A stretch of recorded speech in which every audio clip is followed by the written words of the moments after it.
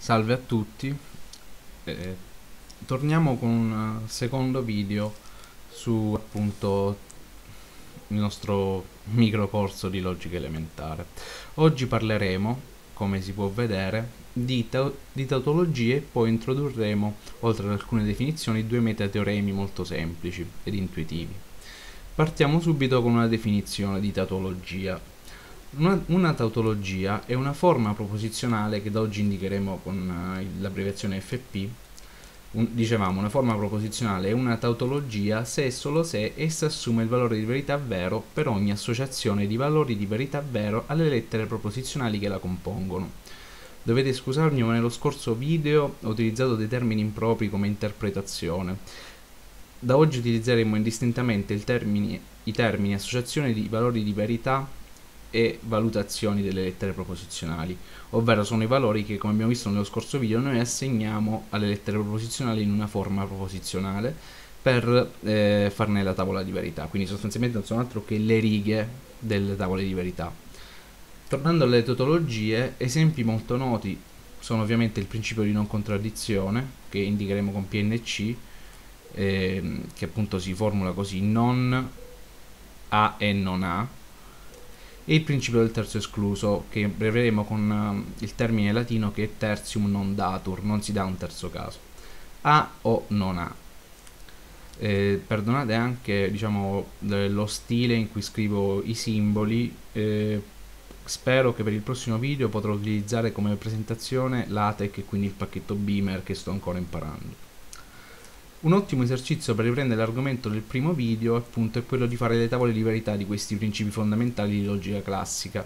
Si noti che a questo punto siamo in grado di affermare che le tavole di verità sono un processo algoritmico per verificare se una formula proposizionale è una tautologia. Questo diciamo è un tema importante poiché rende conto del fatto che eh, l'insieme delle tautologie è decidibile, ma evitiamo adesso di parlare di questo argomento perché ci porterebbe lontano, magari spero di avere l'occasione di trattarlo, di trattare il tema della decidibilità eh, in seguito, un po' più in seguito. Fornita la definizione di tautologia, possiamo passare avanti con altre definizioni, in particolare quella della contraddizione. Una formula proposizionale è una contraddizione se e solo se assume valore di verità falso per ogni associazione di verità a lettere proposizionali che la compongono. In, quindi sostanzialmente una contraddizione, eh, possiamo dire in maniera così gergale, è l'inverso di una tautologia, poiché sotto l'operatore principale della tautologia eh, noi abbiamo solo come valore di verità il vero per, per, tutte, per tutte le righe. La contraddizione invece è il falso. Scusate, ma qui c'è un refuso. Formulare dei controesempi è molto semplice, dato che l'operatore non inverte i valori di verità, ogni negazione di una formula proposizionale tautologica è una contraddizione. Riprendendo gli esempi precedenti, la negazione del principio di non contraddizione e del tertium non datur nella logica proposizionale classica sono ovviamente delle contraddizioni, beh, questo è evidente. Un'altra diciamo, definizione che spesso non si dà anche perché è ovvia è quella di forma proposizionale contingente. Una, molto semplicemente, molto banalmente, una formula proposizionale è contingente quando non è né una tautologia né una contraddizione. Cioè, quando assume sotto l'operatore principale sia valore vero che falso, sia il valore vero che falso. Questa denominazione è legata alla nozione di mondo possibile. Significa cioè che sono logicamente ammissibili situazioni controfattuali per le quali la forma proposizionale è falsa, dunque non è una verità logica che è un altro modo di intendere, eh, un altro modo di chiamare eh, la tautologia. Per comprenderci meglio dal nostro punto di vista, questi mondi possibili alternativi non sono che valutazioni di lettere proposizionali che restituiscono il falso sotto l'operatore principale della formula dove le suddette lettere occorrono, insomma è molto semplice. Ora passiamo ai teoremi. Mm, il primo è davvero molto semplice, il secondo è un po' più complicato ma è comunque molto intuitivo. Iniziamo dal primo. Se le formule alfa e se alfa allora beta sono tautologie, allora lo è anche beta. Questa dimostrazione si fa molto semplicemente per assurdo. Si assume infatti che vi sia un'assegnazione, si assume per assurdo, che vi sia un'assegnazione di valori di verità di alfa e beta tale che la valutazione di beta sia falsa.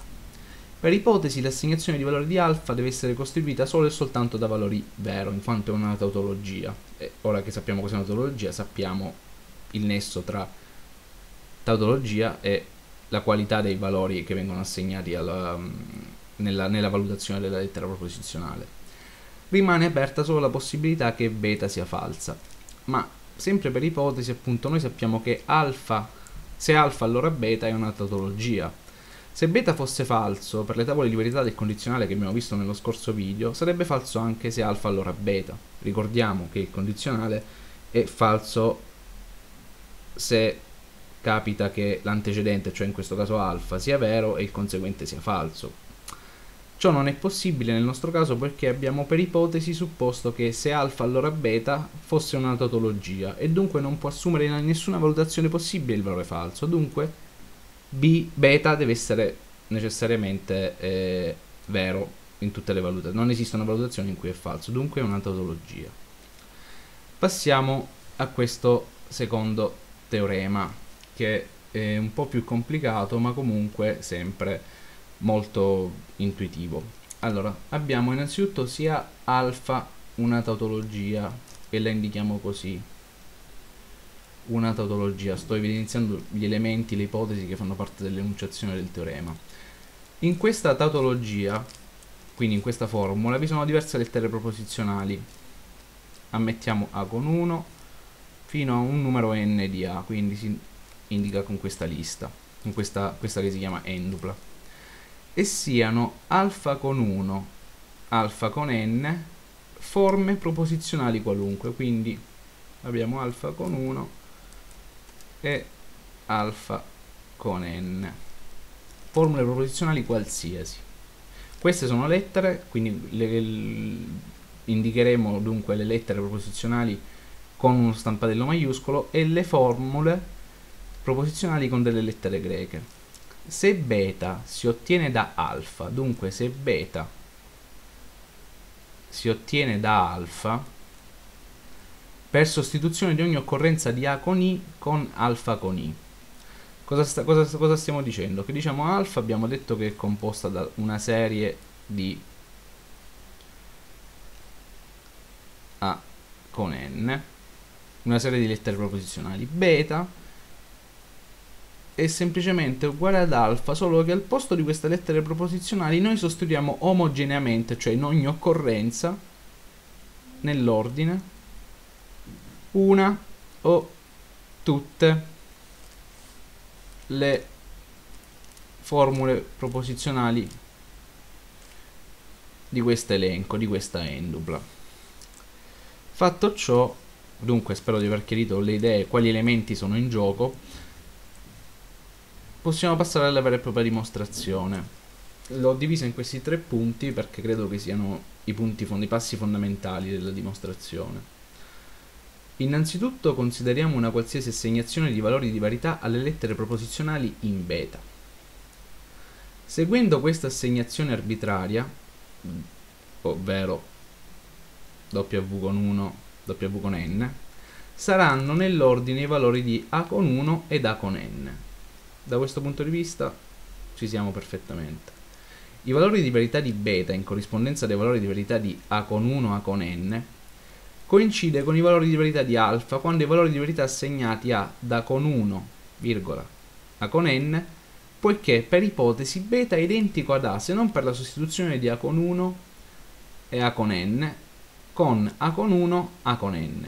Poiché alfa poi per ipotesi è una tautologia, allora anche beta sarà una tautologia. Diciamo che da questo punto di vista eh, il teorema fila è intuitivo, mm, noi abbiamo una tautologia che di conseguenza indipendentemente dalla valutazione delle lettere proposizionali darà sotto l'operatore principale eh, tutti i valori di verità vero noi cosa stiamo facendo? Stiamo sostituendo omogeneamente, cioè per ogni occorrenza, per ogni singola occorrenza, tutte le volte, una certa eh, formula proposizionale che va a sostituire la lettera.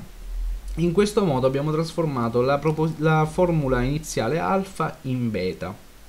È evidente però che se alfa è una tautologia, anche beta sarà una tautologia per il semplice fatto che la sostituzione omogenea delle occorrenze non intacca la vera funzionalità della, della nuova formula che ha la stessa forma logica beta, la stessa forma logica di alfa.